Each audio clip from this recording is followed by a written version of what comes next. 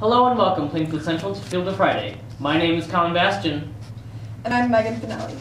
Today's word of the day is virtuoso, a person who has a special, special knowledge or skill in a field, a person who excels in music technique or execution.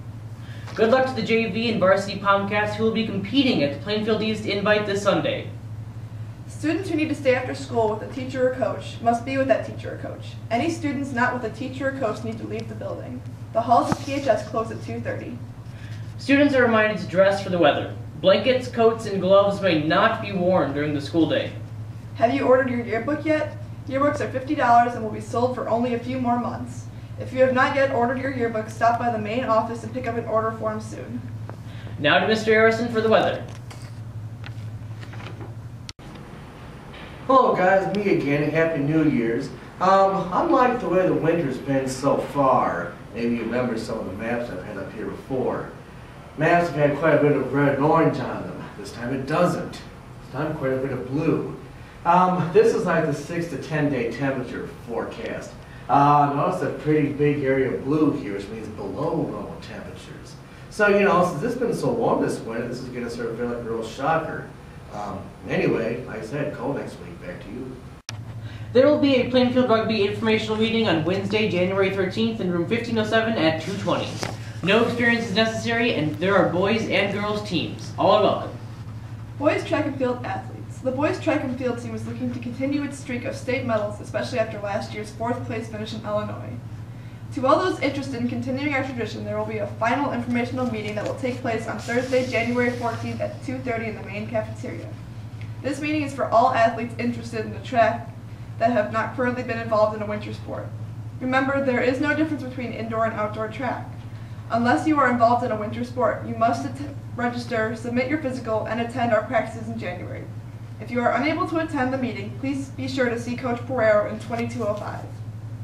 The first musical meeting will be on Monday, January 11th, after school until approximately 5 p.m. to receive rehearsal materials and view the movie.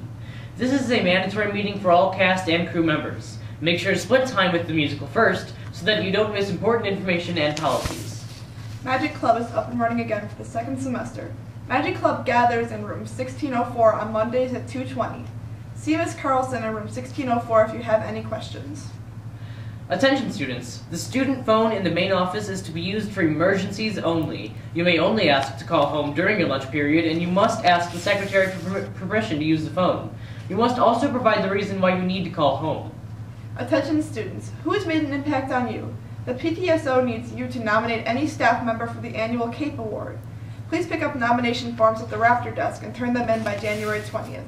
Questions? Come to our next PTSO meeting on Monday, January 11th at 6.30 in the Media Center. Now to the sports video. Morning, Wildcats. Mr. Coventry here with your sports flash. This weekend, the NFL playoffs start. And unfortunately, the Bears will be sitting this one out. We got a couple feature games this weekend. We have Washington Redskins will be hosting the Green Bay Packers. Some people love them, some people hate the Packers, but it should be an outstanding game.